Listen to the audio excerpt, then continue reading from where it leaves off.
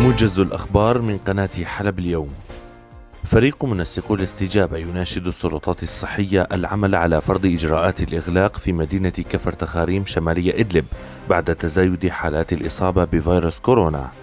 قصف من قبل قوات النظام والطيران الروسي استهدف بلدات منطف وحميمات والفطيرة وإبلين بريف إدلب الجنوبي وفق ما ذكر مراسل حلب اليوم.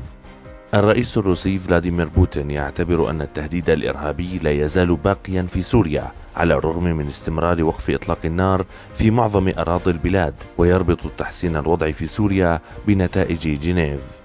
تعزيزات عسكرية للفرقة الرابعة وقوات الغيث تصل إلى محيط درع البلد تزامنا مع قصف على الأحياء المحاصرة والنظام يتوعد بحملة عسكرية بعد فشل المفاوضات بحسب وكالة الأنباء الألمانية.